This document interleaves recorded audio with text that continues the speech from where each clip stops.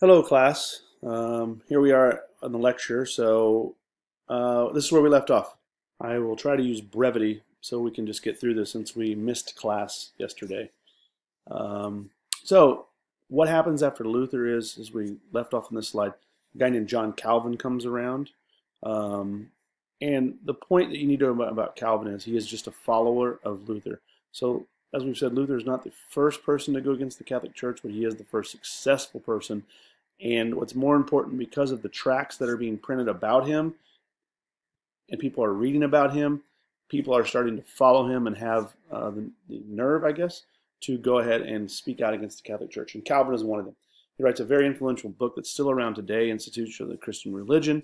Um, and the main thing about Calvin you need to know is, again, he's a follower of Luther, but he has some different views of it. He doesn't agree with everything. And this is where we get in that idea that we talked about um, the Protestants breaking up, and, and, this would be the Catholics and the Greeks' worst nightmare. All kinds of different people interpreting the Bible what they think uh, it says. And Calvin comes up with an idea of predestination. We're not going to cover it in this class. If you need to look it up, you can. It's, I think, a bit confusing. It can be. So maybe you would talk about it in a religious class or something. So again, he's very similar to Luther, uh, but he doesn't agree every bit with him. Know about the Institutes of Christian Religion. It's still a, a famous book today. Um, and he relocates into Switzerland, and his him and his followers do become very zealous, um, and that's part of the Calvinist belief of predestination that they're positive that they are right. So, next, uh, following that is another guy, Henry VIII. Remember, he's a king of England. He wants to divorce his wife, as you can see from the picture there. If you have not seen the other Boleyn Girl, not a great movie, but um, unfortunately, but it does make a point. He has to ask the Pope in Rome for permission to divorce. So think about that today. The President of the United States wants to get divorced. He has to ask Rome to do it. So you're seeing the power of the Catholic Church. And we talked about this. Is the Pope an important person? And half the class shakes their head yes, half shakes their head no. So it just depends on who you're talking to.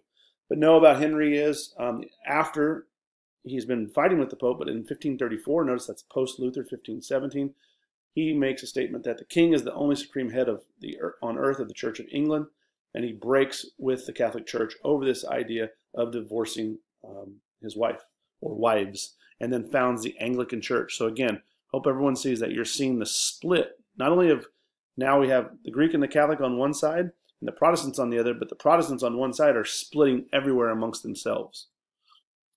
Okay, so here's what becomes important. Be sure to know this. Luther gains a lot of support. Remember, first day of class, we talked about the Holy Roman Empire. What we know today is basically Germany and a group of these people uh, who are trying to uh, revitalize the Roman Empire. They're battling with the Pope. They've had a long history of this. Uh, and there's over 300 of these small entities. So they all have one ruler, that is for sure, who's a descendant or an heir of Charlemagne in some way. We talk about in the other class but they all have independent autonomy. So it's very, very progressive for the time. Kind of interesting to think of it with the Germans that way. Um, we already talked about it in class. There's the part with Protestant sects, and um, I made the joke about Protestant sects, and just know that Luther does allow clergy to marry. So that's why I make that joke I don't say the word sect very well. Um, and and and Protestant members are encouraged to have um, wives and to have sex in this, and it's mainly for procreation so that the religion can grow. Just keep that in mind. Uh, they're emphasized reading the Bible, preaching, and song, and all this. A very different, a very different form of, of worship compared to the Catholics and the Orthodox. And know the Peace of Augsburg in 1555. It's a very important ruling. Be sure to know it.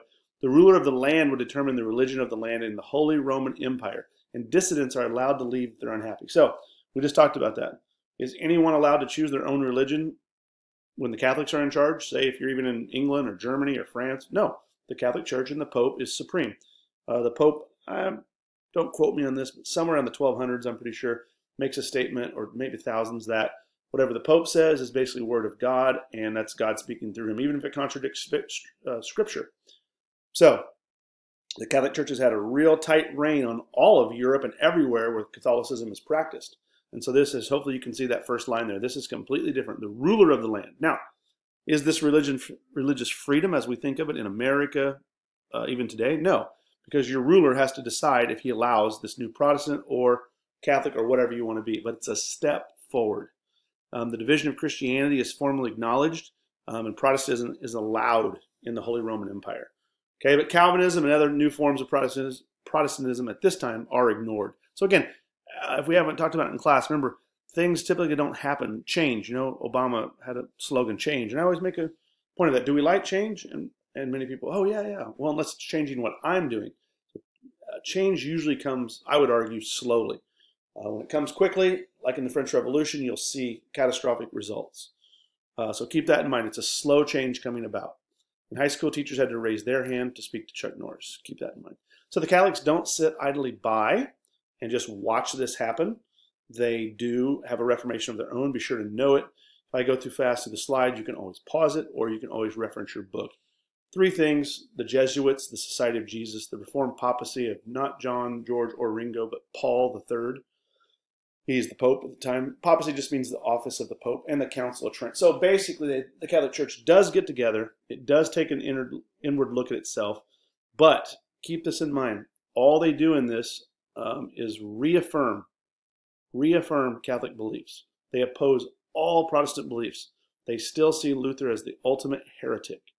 Okay, remember, uh, look, be sure to look up the difference between a heretic and an atheist and an agnostic.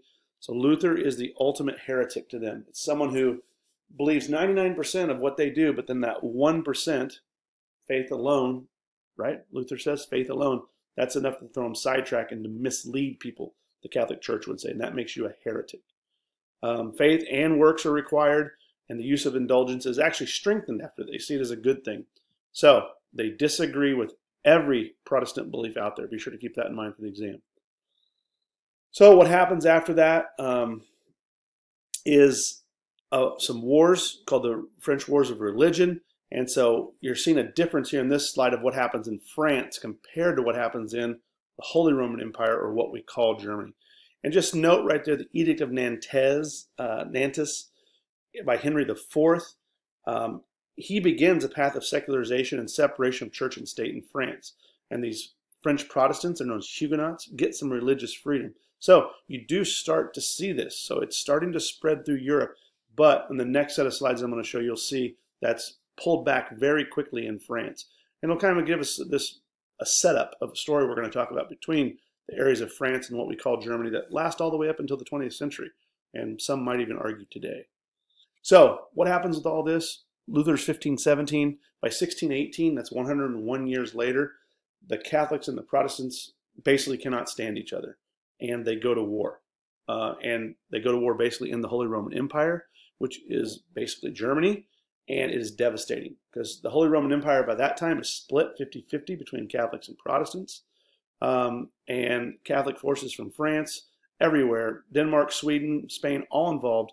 And it is a horrible, horrible time um, for this area. And it's the worst catastrophe since the Black Death of the 14th century, okay, uh, where 8 million people were killed. And this is Christians killing Christians, basically, as you can see from the paintings below down there. So again, this idea of splitting Christianity, splitting a religion leads to uh, a civil war, basically.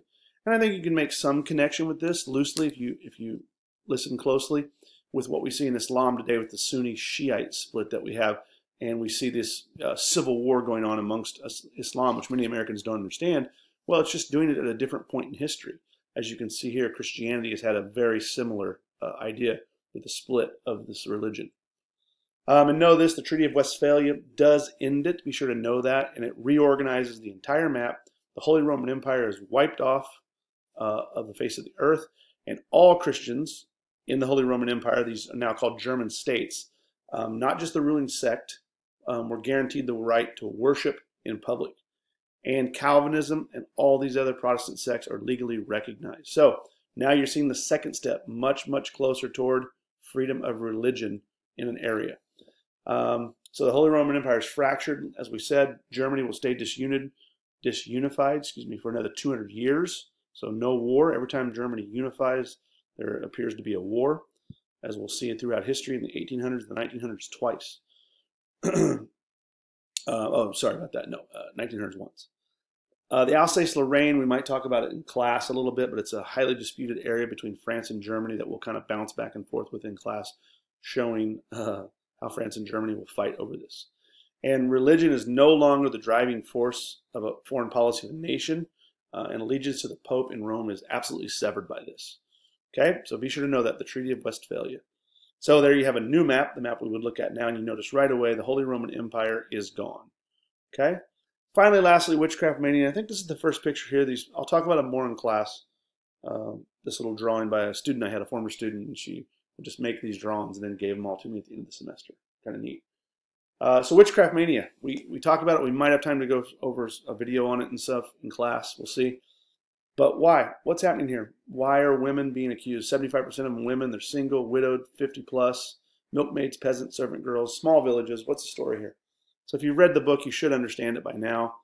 Um, these are basically, it's part of the Protestant Reformation. Everyone's world has been turned upside down. They don't know what to do. They need a scapegoat. They need to accuse someone. The women, as you can see, 75% of them are, are women, but almost all of them are single or widowed, which shows they don't have a man to defend them. So you can see here they are a scapegoat, and this is a prime example of patriarchalism at its worst in the uh, 16th and 17th centuries.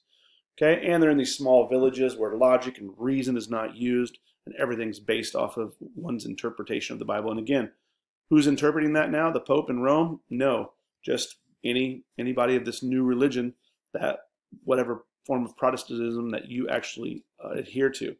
So Christianity has become divided and, and broken up in a lot of different interpretations now. Okay? Um, and every, hopefully you guys are watching this, so you'll know when I show one on Thursday. Um, but Dr. Palm gave me these, and they're Best of American Church Bulletins, really printed in church bulletins. The fasting and prayer conference includes meals. Okay, pretty good.